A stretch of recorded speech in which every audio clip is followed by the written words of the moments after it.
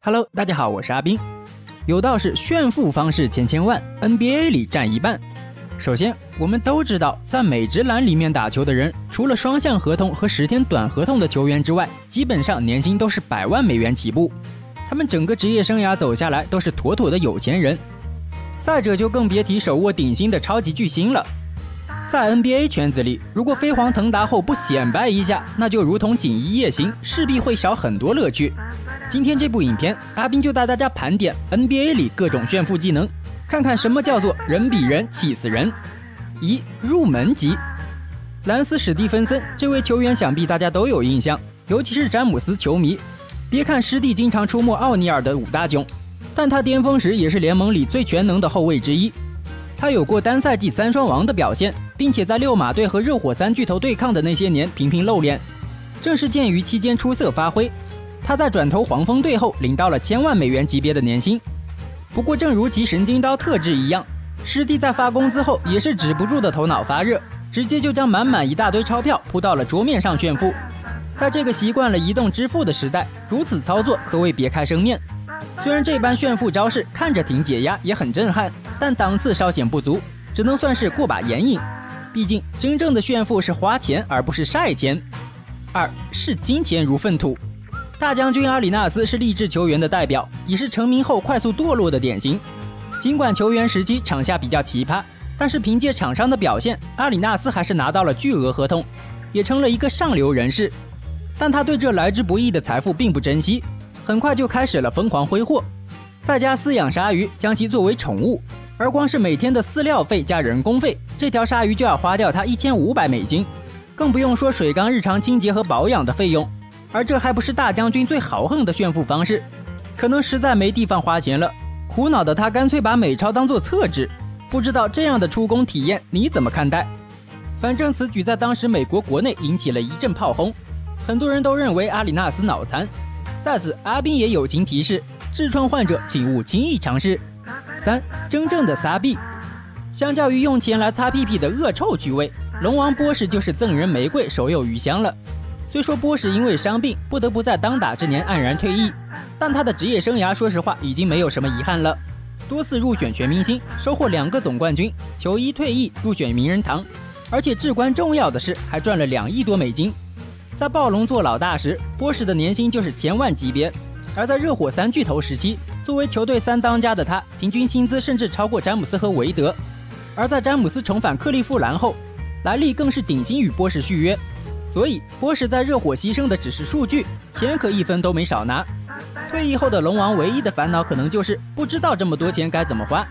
于是，在一次夜店狂欢中，为了向大家分享自己的烦恼，波什便直接当众撒起了美钞，直接让在座的所有人陷入疯狂，并表示这样的烦恼请多多分享。四，迈克尔哪都有我乔丹。众所周知，乔丹的好胜心非常恐怖，不仅在于其深深的执念，也体现在广度方面。因为只要有比较，乔丹就想赢；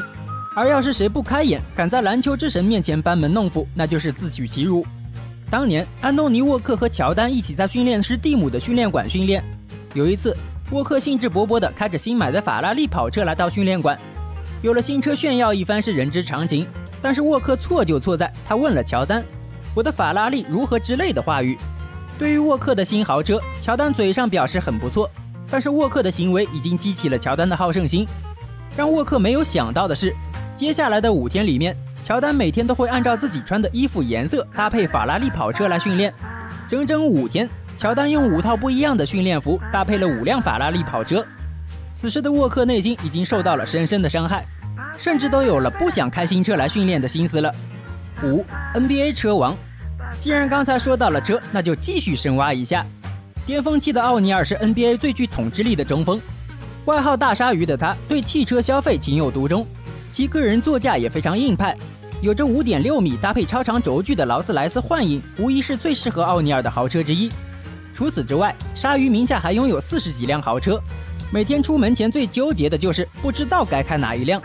奥尼尔采访时说道：“四十多辆车，我总想轮着开，但今天总记不清前一天开的是哪辆。”这看似离奇，但不无道理。就好像海王同时和多名女子勾搭，一时间忘记了前一晚和谁约会一样。这还不算完，球场暴力的鲨鱼在生活中却是慈父形象，对自己多名子女都疼爱有加，尤其是大儿子谢里夫。在谢里夫十六岁生日当天，奥尼尔邀请了四百人参加生日派对，并请来著名说唱歌手 Post Malone 担任演唱嘉宾。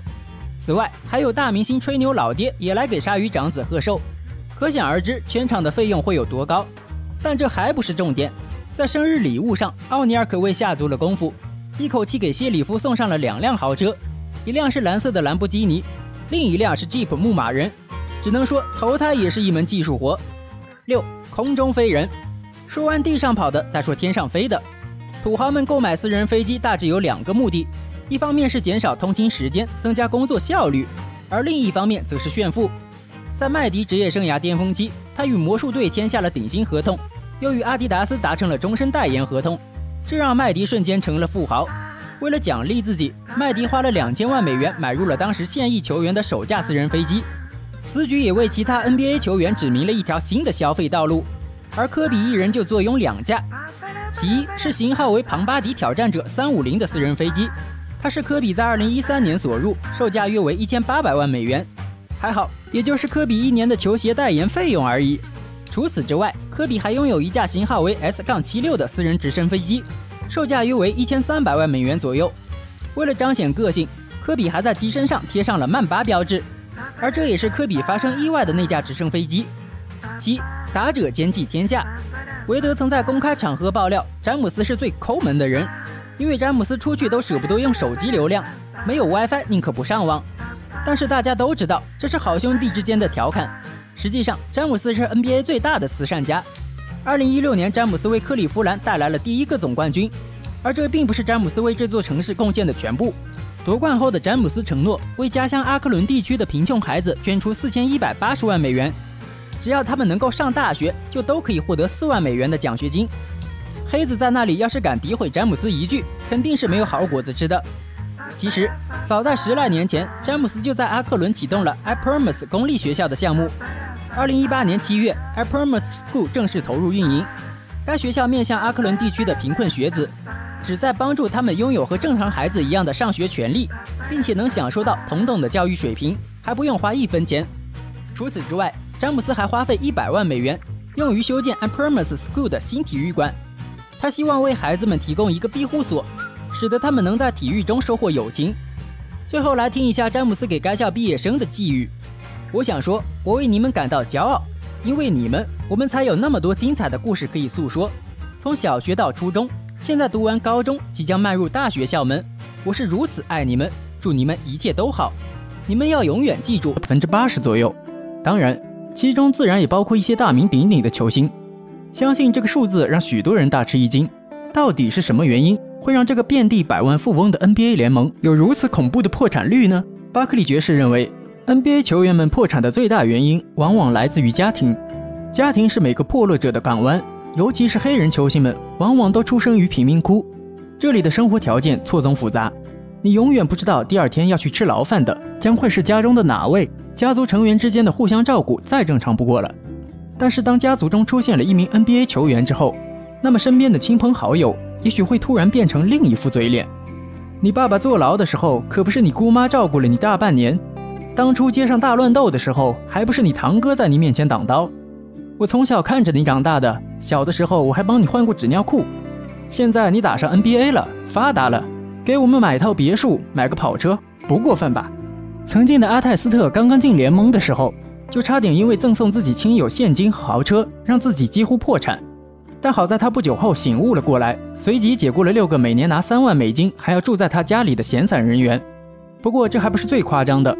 足球运动员阿德巴约就曾经在睡觉的时候被自己的两位兄弟用刀架在了他的脖子上，威胁他交钱。而这些寄生虫在拿到好处之后，并不会见好就收，反而就彻底赖在你身边了。最好还能找个随从的工作，一起吃喝玩乐。这个时候，如果你答应了第一个人，那么立马就会有一大群远亲朋友拖家带口的过来，但他们什么也不会，只是打着助理、保镖之类的名号。等着球员们带他们享受富贵的生活，一起开游艇泡妞。奥尼尔曾经就绞尽脑汁给自己的亲友团找职位，例如他专门设置了一个名叫“鲨鱼热车员”的工作，就是专门负责在自己出门前将自己的豪车发动好，以及一位饮食陪护专员，负责吃掉自己点了之后又不想吃的美食。还有一个叫超人定制员的工作，专门负责为他定制各种拉风的超人战衣。那个啥，奥尼尔啊，我阿斌是你七大姑的爷爷的表哥的堂妹的八大姨的外甥啊。我小的时候你还给我换过尿裤呢。我要个鲨鱼视频制作专员的工作，应该不过分吧？除了奥尼尔之外，还有安东尼沃克。他当年曾经在短短的几年时间内就花光了一点一亿美金，让人感到不可思议。但是只要你看到他身边如影随形地跟着一个七十人的亲友团，大概就会知道其中的答案。NBA 曾经做过一个比较奇葩的数据统计，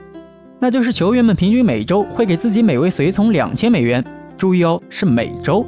也就是说，沃克每个星期都要捐出十四万美金供自己身边的亲友团玩乐，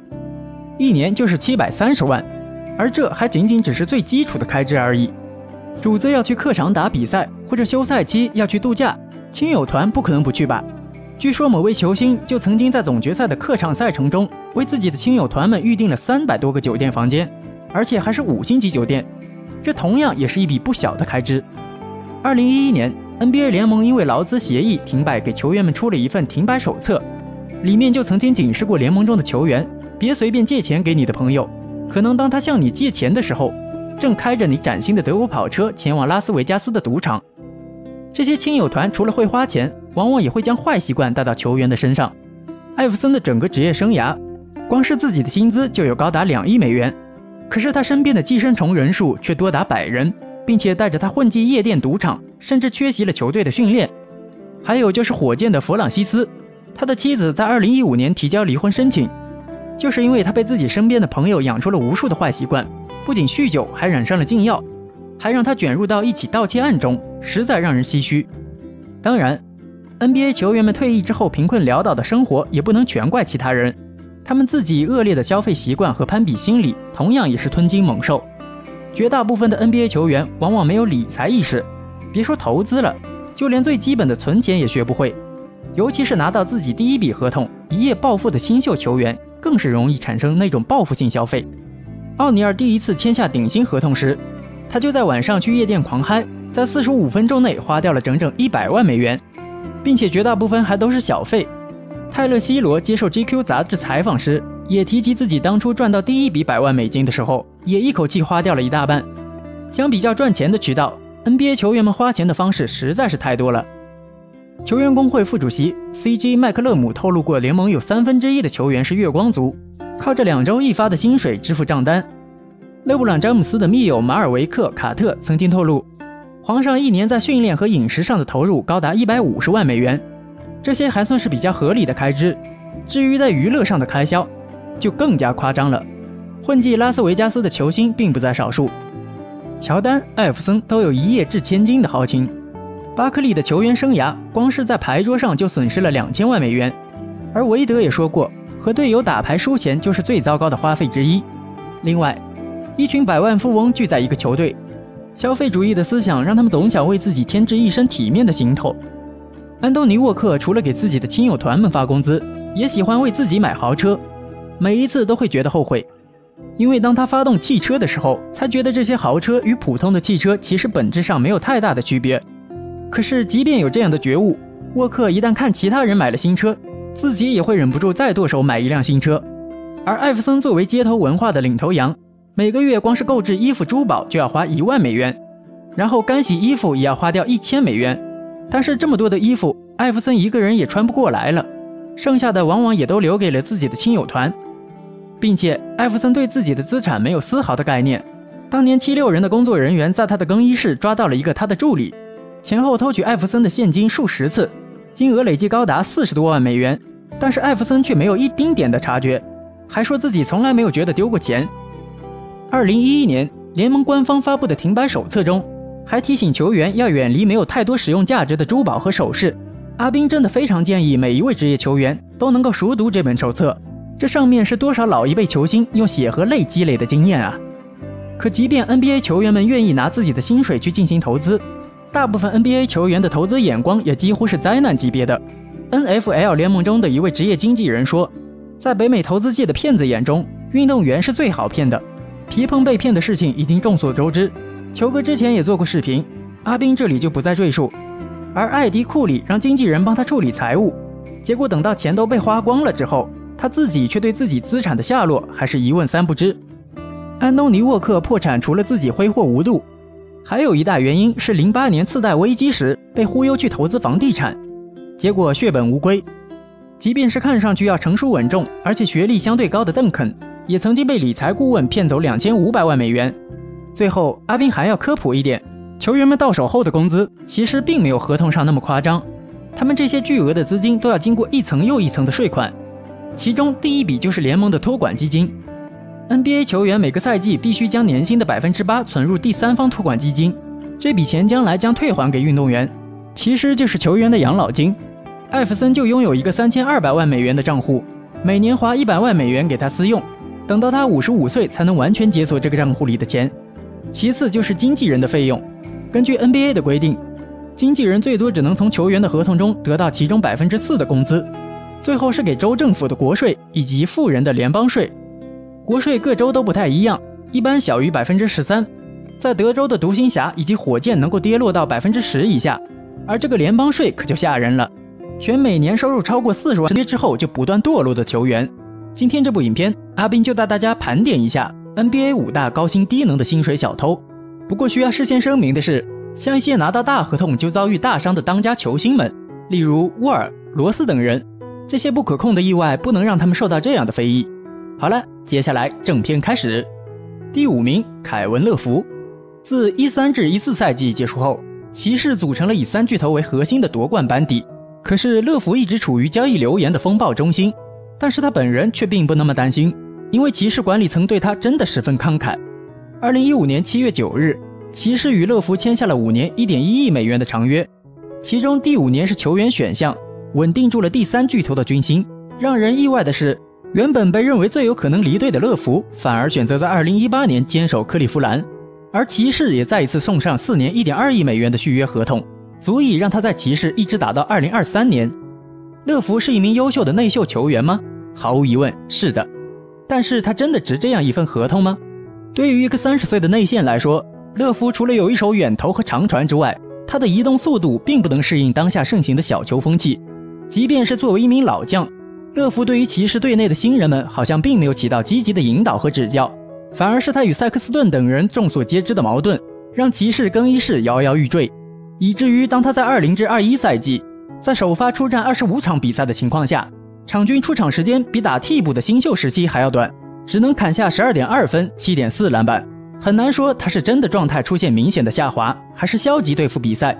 但是他已经没有能力独自带队，已经是不争的事实。考虑到他还有最后两年的大合同，很有可能会让克利夫兰这座小球市更难以留下队内的天才新秀。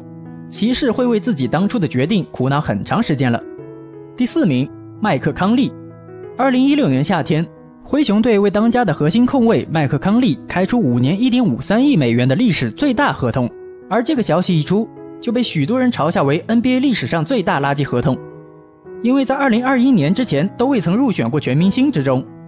但是这样一笔合同对于孟菲斯人来说绝对是物有所值的。康利为灰熊效力的十二个赛季里，他的得分数、出场数、助攻数、抢断数以及三分总数均为队史第一，是当之无愧的队史最佳球员。可是这样一笔昂贵的合同放在其他队伍中就显得尤为的刺眼，尤其是当他在二零一九年夏天转会到犹他身边时，场均得分从生涯最高的二十一点一分跌到十四点四分。百分之四十点九的投篮命中率，生涯第二差。即便二零至二一赛季的数据有略微的提升，但是考虑到他排在联盟第十的高薪，身后有浓眉、伦纳德、字母哥、欧文，还有利拉德这样的顶级球员，依旧让人感到窒息。即便是爵士队内，他也比第二高薪的戈贝尔高出了整整八百万美元。而米切尔的五年一点九五亿超级大合同，也要在二四至二五赛季的第四年才能赶上康利的超级年薪。这样一份大合同成为了康利职业生涯难得的糟点，但钱反正都拿在手里了，谁又在乎别人的风言风语呢？第三名，尼古拉斯·巴图姆。巴图姆在开拓者年少成名，打出过十一分、十助攻、五篮板、五抢断和五封盖这样的全面数据，并且偶尔达成三双的亮眼表现。在那个全能小前锋当道的年代，开拓者在二零一二年为他开出了四年四千六百一十二万美金的合同，绝对是物有所值。然而在2015年，巴图姆成为自由球员，得到了湖人和小牛的追捧。但是不知道是不是因为巴图姆有着法国皮蓬的绰号，黄蜂老板乔丹对留下巴图姆有势在必得的理由。2016年7月1日，一则惊天消息炸响了整个 NBA 联盟：巴图姆与黄蜂签下了五年1.2亿美元的超级合同。但是在签下这个合同之后的几个赛季，巴图姆非但没有像老板乔丹期盼的一样成为下一个皮蓬。反倒是因为早早实现财务自由，让他越来越无法将注意力集中在赛场上。